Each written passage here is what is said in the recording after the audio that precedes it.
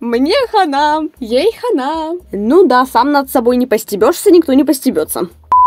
Приветствую всех уважаемых на базе Лирисянт. Короче, товарищи, нам то через два месяца. Да уже чуть меньше, конечно. Выпейте чашечку успокаивающего жасминового чая. Не хочу никакого чая!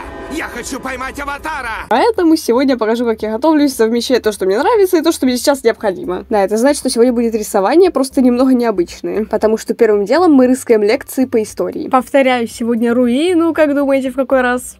И я не знаю, сбилась со счету, думаю, 10 уже, наверное, будет. Еще чаю, пожалуйста. Ну, короче, что я делаю? Я включаю на фон себе лекцию и рисую. Но параллельно записываю всякую важную информацию. Вот как, например, сейчас. То есть я рисую, рисую, слушаю, мне что-то откладывается в голове. Просто что-то я записываю, что-то говорят записать. Вот так вот. Как показывает практика, запоминается намного легче. Да и плюс время впустую не тратится, потому что ты когда сидишь э, и час слушаешь лекцию, тебе хочется угу, откинуться, мягко говоря. А тут ты как бы занимаешься тем, что тебе нравится. Только вот зачем мне такой ракурс, если я могу его повернуть?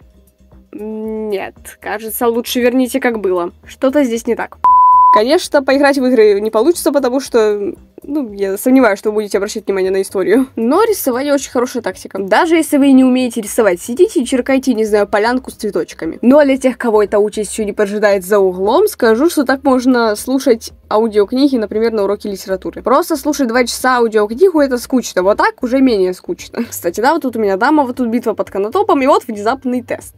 А еще, чтобы лучше освоить материал, рекомендую после прослушивания вот этого всего добра пойти пройти тест на эту тему. А еще главное уметь рассказывать серьезные вещи, рисуя поняшку при этом. Но подождите, дальше будет костер. А под костром у нас что? Минутка історії.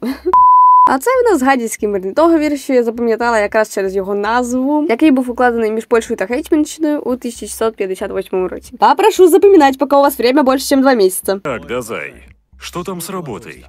Я жду сигнала свыше. А вот уже стандартная информация от меня для рисующих. Да, я в каждом видео говорю, что рисовать важно каждый день, и это видео, конечно, тоже не исключение. Я какой я оператор. Ну, так лучше.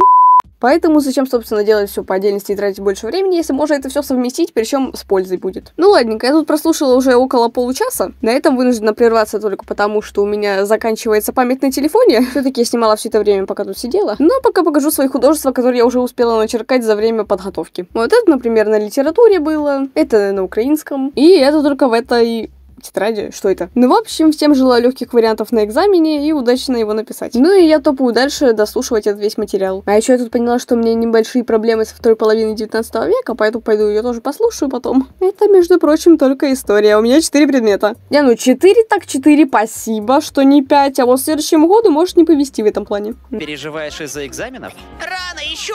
Да, подкинуть немного напряга напоследок, а почему бы и нет. Благодарю за просмотр и увидимся.